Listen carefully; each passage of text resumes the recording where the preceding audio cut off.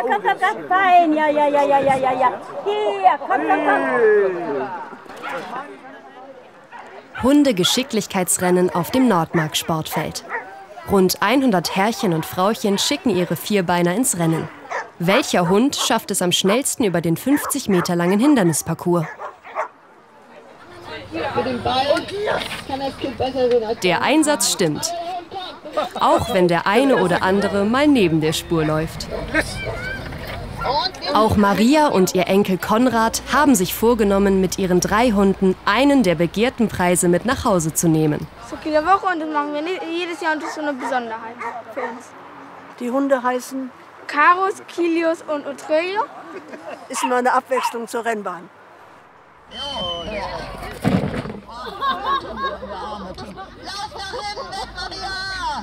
War alles prima, sehr spaßig, Kinderspaß gehabt und die Hunde auch. Ja.